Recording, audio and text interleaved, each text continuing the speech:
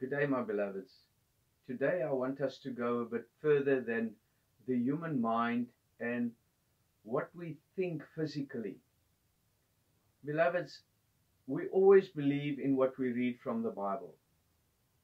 But today I want us to go a little bit further than this. Just one step. Beloveds, if we read from the Bible, we learn what God expects of us and what our true journey is. But there are some things we read from the Bible that actually causes us to misinterpret and misunderstand the Bible. So today I want to touch one of the, the major topics on how to understand the Bible and what causes us to become confused. When we read from 1 Corinthians 15, beloveds, God teaches us that the natural was before the spiritual.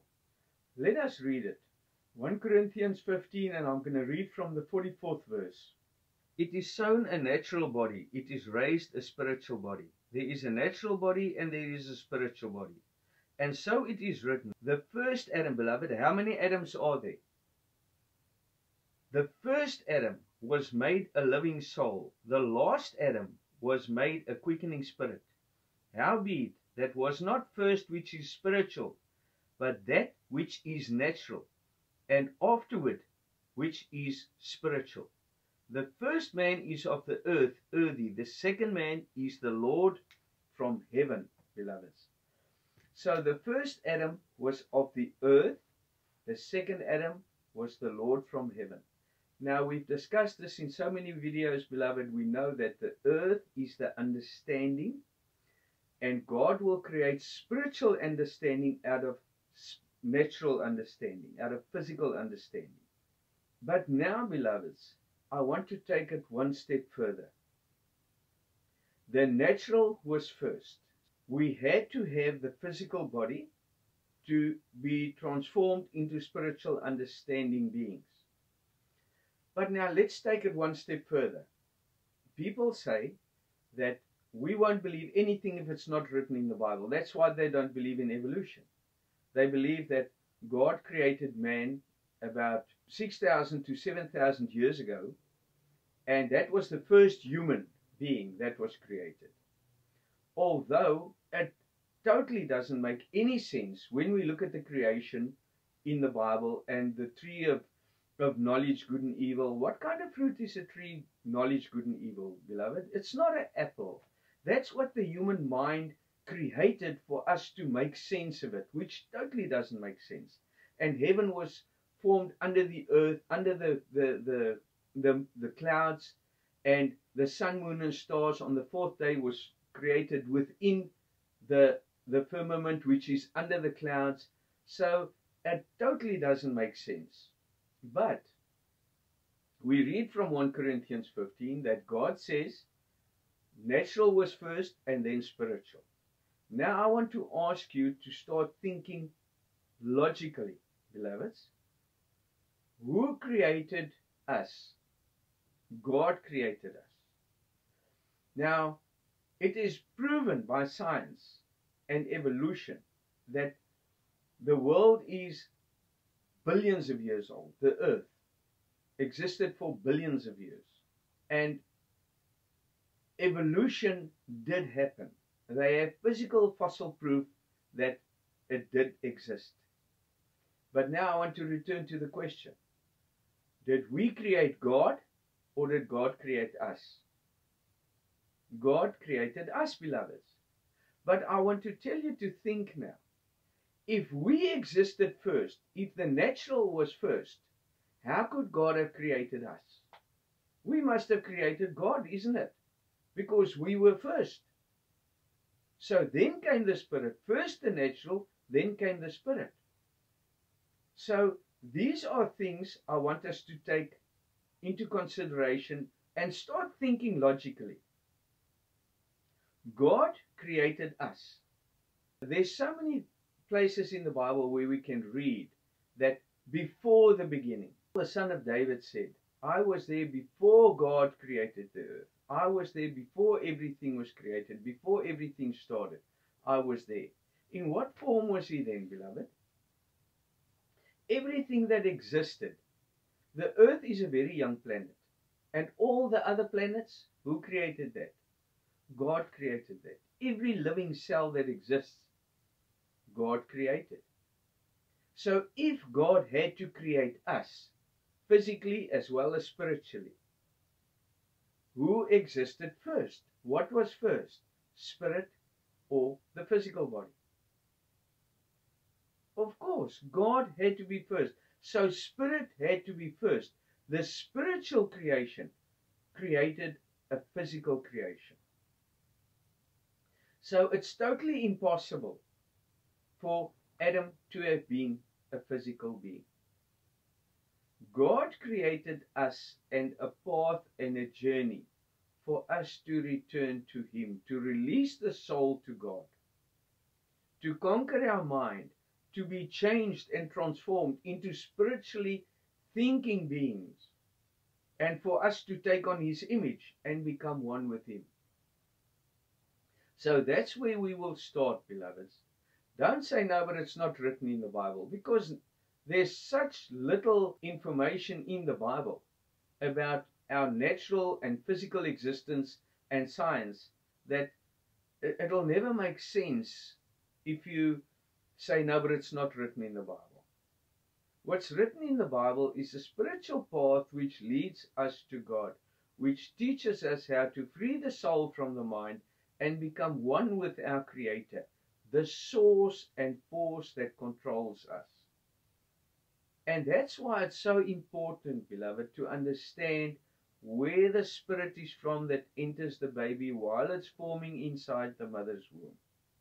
We have to understand what Jesus Christ is, what the first Adam is that was transformed into the second Adam, the Lord from heaven. That in itself, beloved, is much more involved and spiritual than the human mind can even ever fathom. That's why there's so many people that they say, No, this is what I believe. Why do you believe that? Because that one told me that. So when somebody tells me something, they believe in something. They believe in a God. They believe that Jesus died for me. They believe there was a physical Jesus. They believe that whatever the, the case may be. They believe in what somebody else told them. So they haven't seen for themselves. I believe in what my overplace tells me. I believe in what the preacher told me, what the masters told me, my master told me, what this one told me, what that one told me. If that one is living in a fantasy, I'm living in a double fantasy. Because now I have to get out of my fantasy to see that that guy's in a fantasy. And then I have to seek the truth for myself. And that can make me waste another lifetime. So, first of all, I have to find out for myself, clean the slate. What is right, what is wrong, what is true, what makes sense, beloved. Because whatever makes sense is light and understanding. So, I have to get away from just taking in everything I hear and accepting what, what I'm told. And that's why the, the, the Christian religion is in the state it is, and really, religion as a whole. I believe in Buddha. I believe in Muhammad. I believe in Allah. I believe in Jesus. I believe in God. We, where's this Jesus? Have you ever seen it? Have you ever seen God? Have you ever seen Muhammad? Have you ever seen Allah? No. So, who is this God we're serving, beloved? The cloud of witnesses, according to Hebrew, is those who have seen God. Matthew 5, verse 8. Those who have become pure of heart will see God. The God is speaking to people according to their understanding. A first grader teacher speaks to the first graders as first graders. And the university professor speaks to the students according to their knowledge and understanding and how far they developed. But what we're doing, because the church is upside down, and people don't know the different heavens and don't actually haven't evolved to the level of that office that they can't teach from that heaven that everything is so upside down in the church. When God speaks to us, He speaks to those, always read and see who God is speaking to. Because sometimes He speaks to the Pharisees and the Sadducees and the Israelis, the apostles, whoever. Look at who He's speaking to. Then you will see that we just take everything for granted. God is wrote that in the Bible. Now that's for me. It's not for me. If I don't understand the first grade first, you can't go and sit at university when you're a first grader and attempt to understand what the professor's teaching. You won't understand, beloveds. That's as simple as that. So that's something we have to get into our minds. We have to sit back. Take a step back, beloveds. Beloveds, if you're egoistic, and you want to know everything and you just want to be up there with all the others, very few who truly do understand, but those who do understand, if you want to just be up there and think that somebody is going to think little less of you or you're going to belittle yourself, you're missing the kingdom of God. Whatever you learn from the Bible and from our true God, beloved, is to learn how little you know. The more you know, the more you learn, the more you're going to understand how little you know. In the beginning, you will learn something that enlightens you or bring you to a certain level of understanding. And at that level, you will try to convince everybody, including the chickens and the dogs and the cats and everything. You will attempt to, to convince everybody that this is the true path. That's true. That's real. That's but that's when you start seeing the light. You want to reveal this light to everybody, but you don't even have the potential to do it. And that's why you have to put your entire life into it. Look for the path. Look for the truth. Seek the truth. And then you will see as you grow. No, this is how it is. This is how it is. Why? Because the apostle said that. Why? Because the overseer said that. Why? Because the preacher said this. And this one said that. No. You must see. Faith is something we hope for. Uh, evidence of something we haven't seen. Evidence of something we haven't seen. In other words, we have faith in something we haven't seen. You believe in God? Yes. You you can't love him. You you don't know what it is because you have faith in something you haven't seen. Faith is something you have in something you haven't seen, beloved. So the only way that your faith and hope can become whole is to see and fully understand. And that is what it means to see. So you can never become whole until you actually see. And the only way you're going to see is by somebody who takes you to that level and introduce you to, to God. The cloud of witnesses witnessed to see God. And it's very easy to hear something and go tell everybody, oh, but I've seen God. Have you? Yes. Beloved, you have to break wall down the middle wall of partition. You have to become pure in heart. You have to advance to levels where you see God the Creator in the lowest form, not the highest form, beloved. We can't fathom it. We can't fathom this, this Creator because He's too great. But He gives us an entry level at this low level of understanding through this gate, the human body.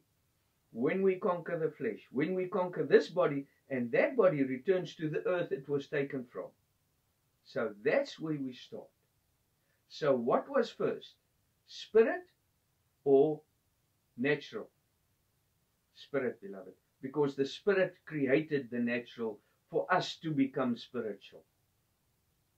So all I want to achieve with this video is for us to just think one level up. Not to just get stuck at what we told And this is how it is. Think, beloveds, you are responsible for your own soul. So think for yourself. What is this God? What is above the flesh? What is above us? Who created us? What was there before the earth was formed? What was there before humans existed? Animals. And before animals, there was nothing. The earth was like a, like a, a glowing ball of fire, beloved. It wasn't the sun, but as the asteroid, asteroids and stuff collided with it, it, it was just a mel- molten lava, beloved. And it cooled down. You can see when you cut the earth in half, you'll see that there's only a thin layer around the earth that cooled down. That's why you still have volcanoes. Because the earth is still cooling down in the in the center. So these are things we have to take into consideration. Let's understand the natural side. Let's understand the spiritual side and know that, that we that's where we're from. The natural was first. Even before the physical bodies were avail- available, beloved, you were in spirit already. God knew you before you were born, naturally as well as spiritually. Before the church existed, what existed? Before the light existed, what existed? Darkness. And who made the darkness? God made it. Who made the physical earth? God made it. So what was before the earth? God. So how can the natural be before the spiritual? If we think logically. So that's why I want us to take a step back. Us who make out the members on the body of Christ. Let's be, become enlightened. But let's take a step back first and see we actually don't know as much as we think we do. We just might learn something from our God. God wants us to become children again. Because as Paul said, he said, Are you without understanding? You start with the spirit and you end up with the flesh. After all your suffering, because for us to become spiritual, beloved, you have to suffer. You have to go to the cross to conquer the flesh, to become more spiritual. So I just want to share this with you, beloveds. Uh, please, if you don't want to, don't accept it. Don't don't worry about it. Just ignore it. But I just want us to think a bit more about our Creator, and everything isn't just about us. It's about God, beloveds. We have to reach that source, that power. And if we can respect that power a bit more, we won't just talk about God as, as if we're talking about a car. This word God, beloved, and our Lord Jesus Christ is much more than our minds can fathom. And if Jesus or God are physical beings, that, it's humiliating to them. I mean, it's degrading to think that Jesus was a physical being. It's degrading, beloveds. Our Jesus Christ is God in flesh. This flesh, it's much higher than we can understand. That's why we really think and confuse ourselves to think that the physical was first and then came the spirit. So let's give God some honor. Let's give Christ some honor. Let's give the body some honor. And let us become spiritual beings as we're supposed to have been. Let's conquer this, this physical way of understanding. Let's conquer this physical flesh and become spiritual beings and ascend into God consciousness where we can be set free of this hell, beloveds. And that's where we're supposed to be. So thank you very much for listening, beloveds. Share with our beloveds if they are advanced to that level where they might understand it. If they don't, don't force it down on anybody, beloveds, because people won't understand it and they will just hate you for it. Of course, they will hate you as soon as you see the light. But be careful who you share it with, beloved. And if you share, make sure to explain to them what, what it means. So we have to get our own house in order first and then help others to get their house in order and uplift them to our level of understanding and consciousness. God bless you, beloved. Thank you very much.